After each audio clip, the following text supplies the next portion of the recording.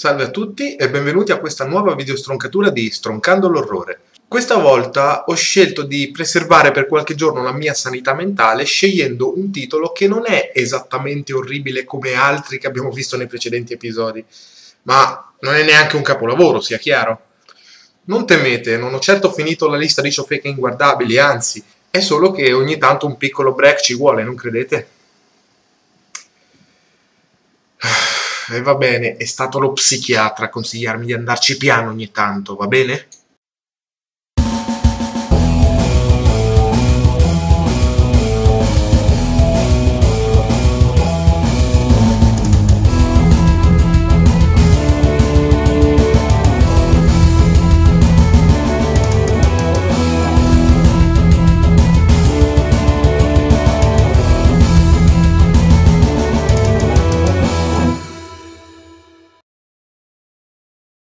Oggi parleremo di una pellicola approdata nel 1989 in Italia con il titolo La Casa 7 The Horror Show.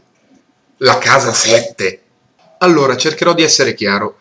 In seguito all'uscita e poi al successo de La Casa e La Casa 2 di Sam Raimi, alcuni distributori e registi italiani hanno deciso di battezzare e rinominare alcuni horror minori, dando così vita a una carrellata di sequel apocrifi de la serie La Casa, che però in realtà non hanno nulla da spartire con la trilogia orbitante attorno alla figura di Ash Williams. Per questa ragione, ancora oggi possiamo trovare sul mercato o in televisione la Casa 3 Ghost House di Umberto Lenzi, la Casa 4 Witchcraft di Fabrizio Laurenti e la Casa 5 di Claudio Fragasso.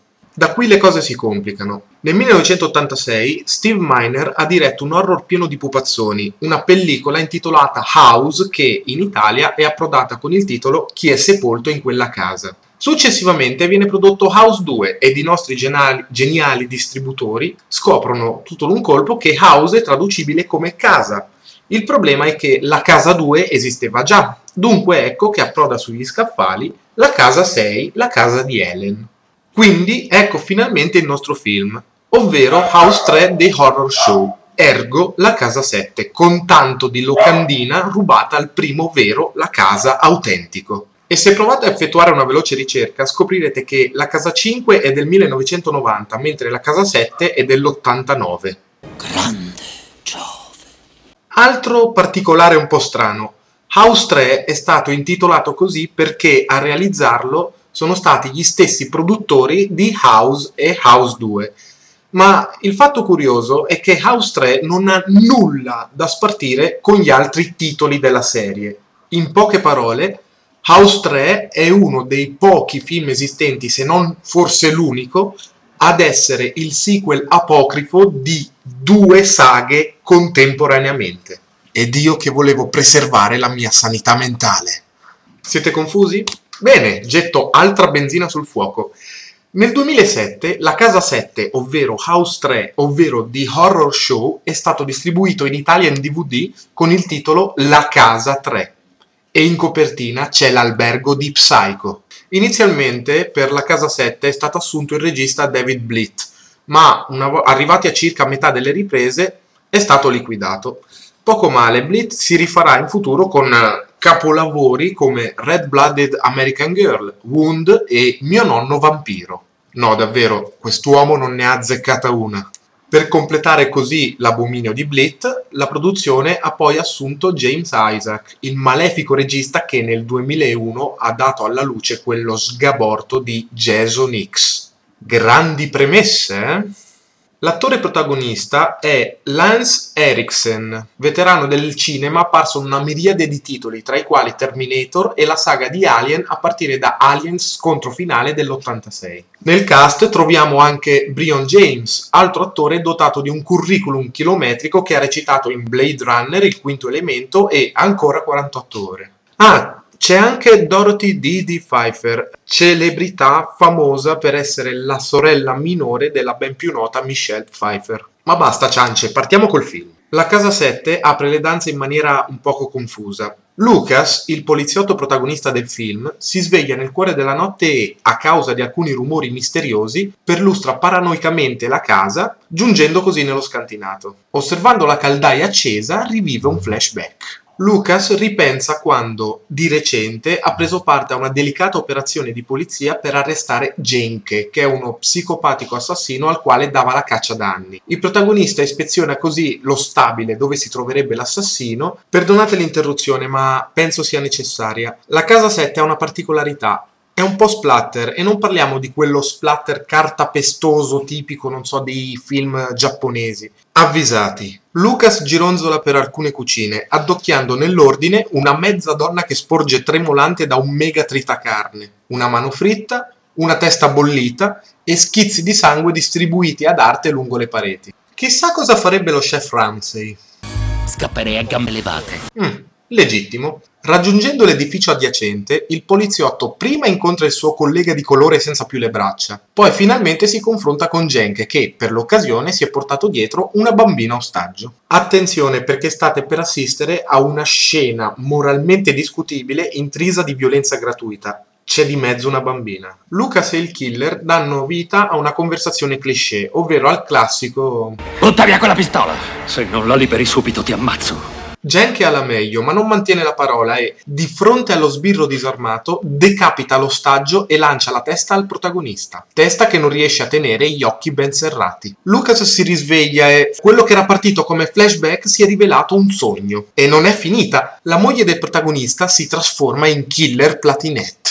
Un altro sogno? No, questa volta si tratta di un'allucinazione del poliziotto. Allora, il protagonista si sveglia e sente dei rumori, poi fissa una caldaia, ha un flashback, si sveglia di nuovo, ha una visione e torna in sé. Ma era necessaria tutta sta roba caotica. Il mattino dopo, Lucas va ad assistere all'esecuzione di Genke, che, meglio sottolinearlo, non era uno psicopatico qualunque. Quella mannaia che ha mietuto un numero incredibile di vittime. Il numero ufficiale di queste ultime, fornito dalla polizia, è purtroppo di 110. 110 vittime uccise con una mannaia? Cioè, nemmeno la Fletcher ha visto così tanti morti. Ma passiamo alla prima vera scena madre della Casa 7. Il killer rimane uno psicotico malvagio fino all'ultimo, insultando chiunque gli capiti a tiro. A sorpresa, la prima scarica della sedia elettrica non si rivela sufficiente a uccidere la carogna. Quindi, percorso da una scossa da 5000 volt, Genke si libera, cammina verso Lucas e gli lancia una maledizione. Ti porterò alla distruzione lentamente. Quindi muore, un super cattivo degli X-Men. Il tempo avanza indefinitivamente di qualche minuto o ora. All'obitorio, un professore di Dio solo sa cosa ha il permesso di esaminare il cadavere di Genke e assiste a questo.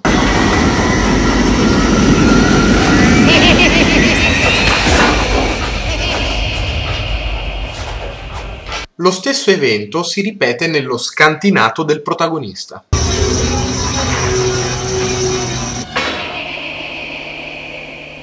Si susseguono alcune scene strampalate. La moglie di Lucas si reca nello scantinato per cercare il gatto.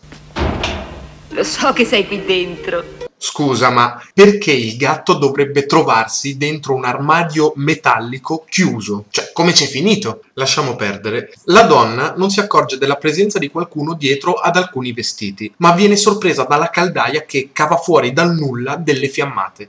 Il bello è che quello che la stupisce non è tanto l'improvvisa accensione della caldaia, bensì il fatto che Come ha fatto a aprirsi? Lo sportello era aperto. Lucas incontra casualmente il professor chissà chi che, in maniera alquanto inquietante e frettolosa, lo avverte di un pericolo imminente. In realtà lo spirito di Genke è ancora in circolazione. Con la sua famiglia mi hai seccato adesso. No, ascolti. Altra sequenza di cui non ce ne frega tantissimo. Scopriamo che la persona che era nascosta dietro i vestiti altri non è che il fidanzato della figlia dello, dello sbirro protagonista, che si era nascosto apposta per incontrare l'amata. Quella sera stessa il fidanzato intraprendente sente la voce della ragazza senza riuscire a individuarla nello scantinato. Bonnie, dove sei? Ti sto guardando. Dai, smettila. Indovinate un po'? In realtà altri non è che il nostro killer fantasma. Comunque, come è facile da immaginarsi, l'assassino uccide il fannullone. E ora che accadrà? Semplice. La ragazza si getta alla ricerca dell'ometto e non lo trova. Cerchiamo di non trascurare Lucas, anche perché sta passando davvero dei brutti momenti. Infatti lo sbirro sta perdendo la capoccia vedendo Genke dappertutto. E intendo dappertutto. Guarda, poliziotto, la tua famiglia è morta. Scherzavo. Ora mi chiedo cosa pensavano di trasmettere gli sceneggiatori con questa scena? Paura? Cioè, disgusto? Inquietudine? Colite? Uno spirito killer che comunica col protagonista infestando un tacchino. Nemmeno in Fantaghirò avrebbero accettato una cosa del genere. La famiglia si riunisce in salotto per guardare un comico in televisione. La voce che fuoriesce dall'apparecchio Io sono il comico, ma anche tu mi sembra che non scherzi. pare quella di Mino Caprio, ovvero il doppiatore di Peter Griffin, ma non avendo trovato conferme in rete non ufficializzo l'informazione. Lo farò stasera. Qui all'aeroporto ci stai già pensando tu? Eh no, cacchio, è lui. Beh, comunque sia, il nostro incorreggibile Lucas comincia a vedere Genke anche in tv e, per non spaventare i familiari visibilmente ignari di tutto, decide di affrontare la questione in modo tranquillo e discreto.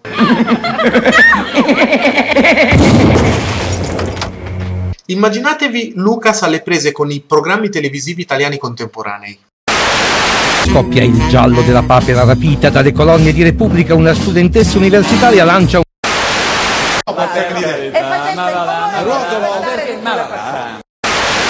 Oggi ho detto si gioca a bocce, non con le bocce. Abbiamo deciso, non senza interno travaglio, un eroe moderno. Ormai insicuro e mezzo impazzito, Lucas decide di visitare la casa dove risiedeva Genke. Oltre a varia robaccia accatastata a caso, lo sbirro trova una collezione di foto ed articoli che riguardano sia lui che la sua famiglia, indizio che svela una certa ossessione dell'assassino nei confronti del poliziotto. E a proposito di ossessioni, indovinate chi passa in casa Genke per puro caso? Sì, rieccolo, il professore. Sono uno scienziato. Non è che cambi molto. Allora, il nuovo amico di Lucas si decide a vuotare il sacco. In breve spiega che, secondo una sua strampalata teoria, il male si manifesta come forza elettromagnetica. Fin qui ci siamo? Bene, secondo punto della teoria. La sedia elettrica ha permesso a Genke di elevarsi a un piano superiore, di separare lo spirito dal corpo e di diventare più potente. Terzo punto, il più affascinante. Per sconfiggere Genke bisogna colpirlo con un'altra potentissima scarica elettrica. Non viene spiegato altro. Dunque, secondo questi dogmi, il cattivone di turno è diventato un fantasma onnipotente, inafferrabile, ma una scossa potrebbe essergli fatale. Ora usiamo un attimo il cervello. Come si può colpire un fantasma con una scossa? Qualcosa che di fronte anche al più piccolo imprevisto può smaterializzarsi e rimaterializzarsi, sparire e riapparirti alle spalle, può cambiare la tua percezione della realtà, farti fuori. No. Torniamo al film. La figlia di Lucas riceve una telefonata da parte del fidanzato. Poiché ancora ignora che fine abbia fatto, la ragazza eh, esegue alla lettera le istruzioni che le vengono fornite dal misterioso interlocutore, ovvero scendere nello scantinato e raccogliere il portafogli che il ragazzo avrebbe dimenticato sulla caldaia. Ed effettivamente lo trova, il portafogli, e quello che rimane del ragazzo. Lucas torna a casa e, in quanto sospettato dell'omicidio, viene giustamente arrestato. Nel frattempo, il professor Cialtrone, Sono uno scienziato. quello che è, continua a sfornare teorie strampalate e muore per mano di Genke. Sotto interrogatorio, Lucas cerca di scagionarsi raccontando ai presenti delle sue allucinazioni e delle teorie del profe- eh, dello scienziato. Chissà perché non riesce a convincere nessuno. Sono stronzate! Ora ricomincia con il fantasma. Sgombrata la stanza, Lucas incontra l'avvocato che avrà il compito di difenderlo in tribunale. Colpo di cliscena, l'avvocato è in realtà Genke. Sono tornato, come vedi. Torniamo alla figlia di Lucas. La ragazza riceve una telefonata maniacale da parte del killer. Sei un maniaco bastardo. Chi sei? Che cosa vuoi da me? Ma che te frega, ma riattacca subito, no? Parlando con un amico collega, Lucas scopre che gli è stata negata la libertà provvisoria. Risolve il problema così. Ah, e nessuno gli ha chiesto del tavolo spaccato, sì, sono incidenti che capitano. In arrivo una scena strana. La moglie di Lucas vede una bambina girare per casa cantando e invece di chiamarla o di parlarle, di afferrarla per un braccio o altro, la segue a passo lento fino allo scantinato. Qui scopriamo che la piccola misteriosa altri non è che la ragazzina che ha perso la testa per mano di Genke e che adora giocare coi gatti. Passaggio reso inutilmente più trash del dovuto. Il killer afferra la moglie di Lucas e la bacia, mentre nel sottofondo sentiamo il lancinante miagolio di un gatto appena castrato. Lucas finalmente torna a casa e per primo trova suo figlio morto. Vediamo quanto si dispera. Scott. Bonnie! Bonnie! Forse non era figlio suo? Altra stanza, altra sorpresa. Lucas trova sua figlia disperata a letto. Il problema è che la giovine è incinta del killer. Letteralmente. Questo è inquietante. Comunque, nel petto di Lucas si apre una ferita e, dopo aver barcollato per un po', il poliziotto perde i sensi. Quindi si risveglia là dove era crollato e la ferita non c'è più. Ma che senso ha sto delirio? Eh, figlio morto e chi se ne frega, figlia incinta con un assassino in grembo, uh, un petto che si squarcia per poi ricomporsi come se non fosse successo nulla, uno svenimento casuale. In dove vogliamo andare a parare? Proviamo a proseguire, magari ci capiamo di più. A salutare il poliziotto appena svegliato sono la figlia con un bambino in braccio e l'amatissimo figlio morto. Un attimo dopo spariscono. No, andiamo avanti e basta, ci fermeremo quando assisteremo a qualcosa di sensato. Senza alcuna ragione, Lucas provoca e insulta la caldaia, fatto che lo catapulterà all'istante nel luogo dove catturò Genke. Qualcosa di sensato, sì. Dopo tante scene e risate vuote, finalmente Lucas trova Genke e la moglie. Ha così inizio un confronto fin troppo concreto. Da una parte abbiamo un comune essere umano e dall'altra una specie di spettro dotato di mirabolanti poteri e si azzuffano alla pari e le incoerenze fioccano che è una bellezza qui. E anche i cliché abbondano che è un piacere. Cioè, scene viste e riviste, come il cattivo che sembra morto ma non lo è. Oppure uno dei miei preferiti, l'inseguimento lento. Da una parte abbiamo Lucas e consorte che fuggono come se non ci fosse un domani, e dall'altra Genke che cammina rilassato. Ma ogni orrorofilo sa che nei film horror le comuni regole dello spazio e del tempo non si applicano. Non importa se cammina, se gattona, se è senza gambe o se è congelato in un blocco di ghiaccio. In un inseguimento il cattivo riuscirà sempre a raggiungere, se non a precedere, le sue prede. Ed è quello che accade, solo che in questa occasione Genke commette un errore forzatissimo subendo una scossa non indifferente. Ed ora il nonsense. I tre si ritrovano a casa, quindi Lucas afferra la pistola e uccide definitivamente il killer. Benvenuti alla nuova puntata di Risolvendo l'orrore. Dunque, prendete carta e penna e cercate di risolvere il seguente enigma. Il corpo di Genke era all'obitorio, mentre Lucas stava combattendo contro lo spirito della sua nemesi, dell'assassino. La domanda è, cosa c'è steso sul tappeto di Lucas? Le risposte. A un falso Genke, poiché quello vero è all'obitorio. B. Il vero Genke, quello all'obitorio è sempre stato un falso. C. Il clone di Genke. D. Genke e basta. E. Il nuovo fidanzato della figlia di Lucas. F la vera figlia di Lucas, mentre l'altra è in realtà Genke. Inviate la vostra risposta via mail a lacasasette-incoerenze.it e potrete vincere una fantastica riproduzione della mannaia usata da Genke. Questa angosciante domanda viene nascosta da un finale quasi disneyano dove osserviamo la famiglia felice, gatto compreso, mentre si prepara a traslocare. Titoli di coda. Il particolare che mi ha colpito di più della casa 7 è la continua presenza di elementi che richiamano film di Wes Craven. In particolare sotto Shock, dove il protagonista viene perseguitato dallo spirito di un assassino condotto alla sedia elettrica, e c'è bisogno di dirlo? Nightmare.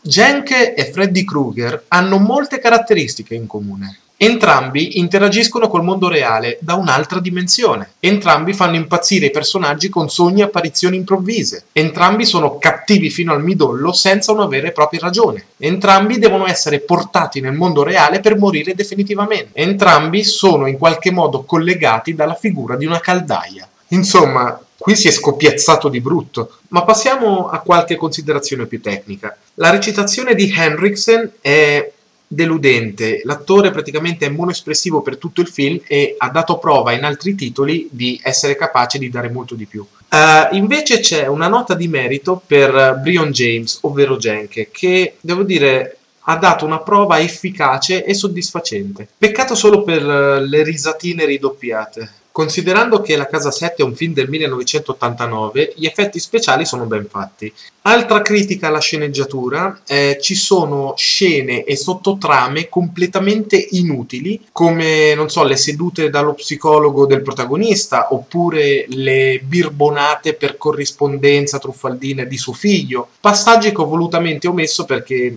beh, inutili, l'ho detto, no? Ultima mannaiata, i cliché. Questo film è un minestrone di cliché, qualità tipica dei, delle pellicole che vengono messe in piedi pensando più al profitto che al come sorprendiamo gli spettatori e di certo non è una qualità apprezzabile. Che dire, La Casa 7 è un filmettino fine anni 80 dotata di un gran cattivo ma affossata da una sceneggiatura mal scopiazzata e farcita di cliché, da un protagonista poco convincente, da um, scene inutili, da soluzioni sbrigative e poco chiare, insomma da tanti piccoli difetti che rendono il tutto meno, termine da prendere con le pinze, credibile. In giro c'è molto di peggio, ma questo non basta elevare la pellicola al grado di must see. Diciamo che lo consiglio a chi adora l'atmosfera anni 80, ha visto un po' di tutto e non ha proprio niente di meglio da guardare. Il canale che volevo consigliarvi a questo giro è quello di Giankiki, ovvero un altro youtuber che si occupa di recensioni cinematografiche. Non si tratta di uno stroncatore ironico, bensì di un appassionato cinefilo dotato di, aprite bene le orecchie, ottimo gusto. Gianchichi fornisce delle opinioni più che condivisibili su film di qualsiasi genere, pur non nascondendo una certa predilizione per l'horror. Non è mai dispersivo e riesce sempre ad illustrare perché quel determinato film merita una visione. Insomma, è come una guida TV, ma più affidabile. Trovate il link al canale di Gianchichi qui sotto nella descrizione del video. Bene, non mi rimane che lasciarvi ai voti della Casa 7. Appuntamento al prossimo video. Non avete idea di cosa vi aspetta.